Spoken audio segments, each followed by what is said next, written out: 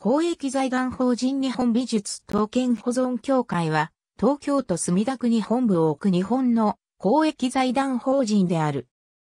日本美術刀剣保存協会が発行する鑑定書の一例日本等には美術品、工芸品としての価値があるが、明治維新に伴う配当令以降、海外への散逸が懸念されるようになった。さらに、太平洋戦争終結後、連合国軍最高司令官総司令部は、日本刀没収を実施したため、これを恐れる持ち主の中には、日本刀を破棄する者が続出する事態となった。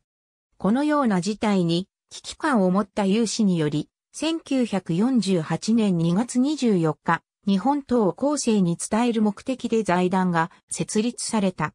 当初は東京都大東区の東京国立博物館に事務局を置いていたが、後に東京都渋谷区代々木に移転した。昭和40年代には会員から募った資金をもとに保護した刀剣類を公開するための施設、刀剣博物館を設置した。さらに、昭和50年代に入ると年々手に入りにくくなる作刀材料確保のため、島根県奥出雲町に日刀たもたたら事業所を創業し、日本刀の原料となる和光、玉鋼を生産している。近年は口述の不祥事が相次いだことから一部が分裂して日本刀文化振興協会を設立するに至った。新作名刀展は、同協会が主催するその年度に新作された日本刀の展覧会であり、ここで認められることが、現代の投稿にとっての大きな目標である。二つの作刀部門と刀身彫りの部、彫金の部で腕が競われる。表彰は以上の通りだが、特賞にあたる各賞を複数回受賞した投稿は、無感さの称号を与えられ、現代を代表する投稿とみなされる。正宗賞のみは特殊で、無感さ投稿が出品したうちで特筆される作刀があった場合のみ授与される。近年では2010年に宮入法広氏が担当で、2014年に立ちで河内国平が受賞した。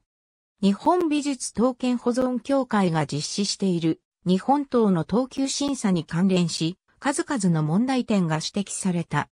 監督官庁の文化庁が行政指導しても財団が拒否した。なお等級は上位から特別重要等権、重要等権、特別保存等権、保存等権の4等級となり、刀層と刀装具についても同じ4等級で審査される。2009年に所有者不明の刀剣400本余りが発見され、2011年に協会と当時の理事、常務理事がこれらのうち36本を未登録の状態で保管していたとして、銃刀法違反で書類送検された。2012年、不起訴処分となった。ありがとうございます。